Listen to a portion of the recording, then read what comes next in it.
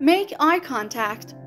Eye contact is the best and easiest thing you can do to start flirting. You can look deeply into the person's eyes while also taking the time to break eye contact to keep things from getting too intense.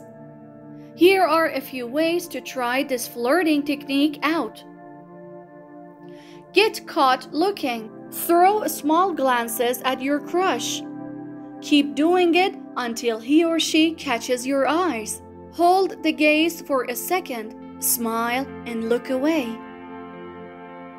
Look into his or her eyes when you talk, particularly at meaningful points in the conversation, like when you're giving them a compliment. Wink or raise your eyebrows at your crush. It's cheesy, but it works if used sparingly.